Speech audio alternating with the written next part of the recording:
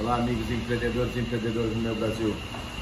É, hoje a gente vai fazer um vídeo de um cupim bem gostoso para vocês agregar aí na sua loja de assados aí.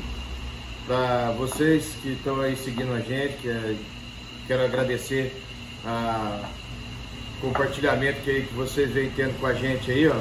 Gostaria que continuasse se inscrevendo na nossa página aí e curtindo as nossas páginas aí. Um abraço a todos. Hoje nós vamos falar um pouquinho do cupim aqui, ó. Então, esse cupim aqui é da Frigol, frigorífico da nossa região aqui, perto de Lençóis Paulista.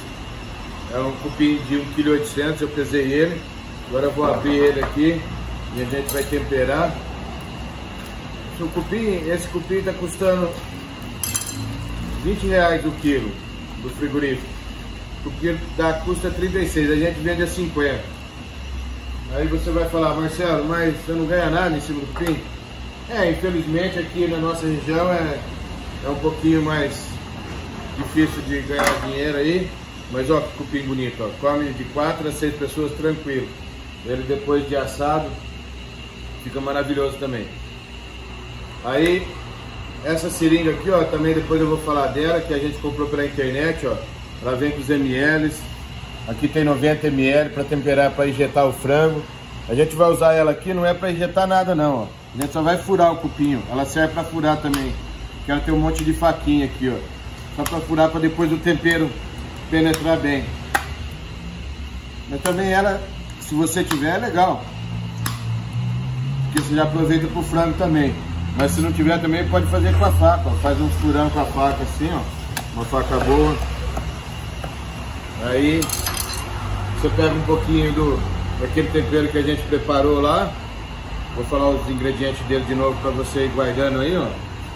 É o açúcar mascavo, o limão paper, o chimichurri, o açúcar cristal, o sal fino, o...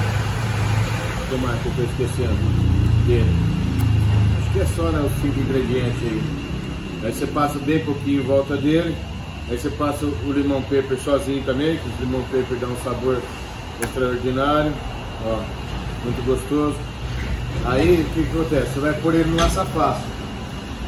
Se você não encontrar açafácio aí no, na sua localidade aí, você pode enrolar no papel alumínio mesmo. Eu gosto de trabalhar com açafácio, porque ele cozinha mais a carne, deixa mais bonito. Eu vou pôr ele no, dentro do açafácio. Agora a gente vai pegar um pouquinho só de sal grosso, umas 15 gramas, 20 gramas no máximo aí, só jogar um pouquinho por cima. Vamos colocar um pouquinho da cerveja deliciosa e um pouquinho da cervejinha preta também. Pronto. Agora a gente vai amarrar o, o nosso cupim aqui e depois vai para o forno. As pessoas têm me perguntado aí, nosso empreendedores do nosso Brasil aí têm me perguntado quanto tempo vai do forno, a costela, o frango. Como eu tenho respondido, tudo depende. Depende do clima, que nem agora está frio, é um pouquinho mais, depende do, da quantidade que você está no forno, depende da sua máquina. Mas que nem um cupim desse, aqui se for ele mais algumas carninhas, é três horas aqui dentro do, do açafácio e depois você tira o açafate, deixa dar uma douradinha de 15, 20 minutos e está pronto o nosso cupim aí. Não esqueça de se inscrever no nosso canal aí. Qualquer dúvida é só entrar em contato aí pelo e-mail que a gente vai respondendo, que a gente puder ajudar vocês aí. Tamo junto sempre.